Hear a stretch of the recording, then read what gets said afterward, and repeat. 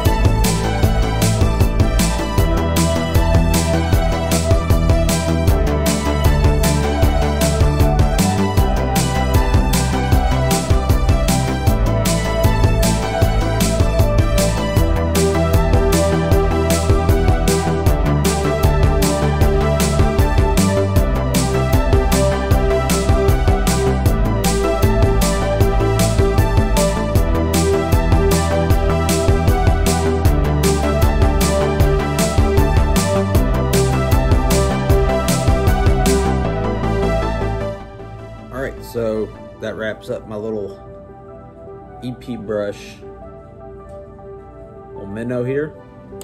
Uh, you seen that little crappie that we call it's actually a pretty decent sized crappie considering we don't really catch crappie a whole lot in that uh, in that pond there, but uh, lately we've been seeing more and more of them.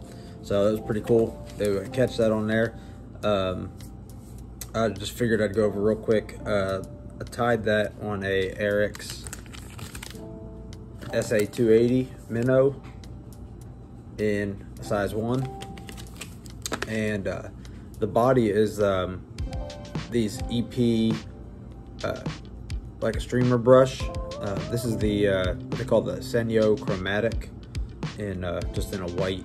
And you can kind of see it's got some of the uh, reflective I don't even know what you call that, like Flashabou kind of stuff tied into it there. And then uh, the head is just um, this uh, Hareline uh, ice dub. I used this in the last video on that little nymph I tied.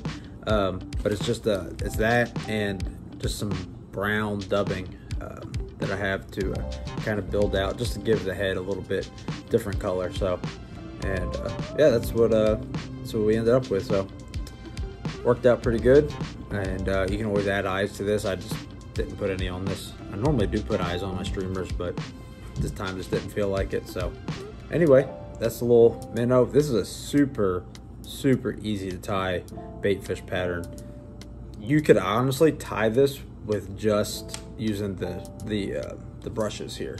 You could take that, wrap that whole thing, and uh, take a little bit of UV resin or something at the end just to kind of build you up a little head. Put some eyes on it or whatever. You can literally just use that, but I like the way it looks, the two tone with the uh, the two different uh, colors like that. And uh, these EP brushes, uh, the Senyo chromatic ones, they don't absorb water, uh, so they're real easy casting. Like they don't. The more you use them, they don't get heavier and heavier as they get soaked with water. They the water kind of uh, just runs off them uh, pretty well. So I fished this uh, on my sink tip line and uh, got it down a little bit deep and caught that crappie. So that was pretty cool. So anyway, well, uh, subscribe and uh, give us a uh, thumbs up, and hopefully we'll catch you on the next one. All right, see you.